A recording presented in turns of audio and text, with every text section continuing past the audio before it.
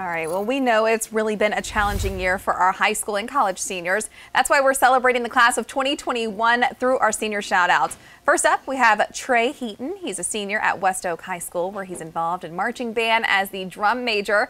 Post-college, Trey plans to attend UGA in the fall to major in music.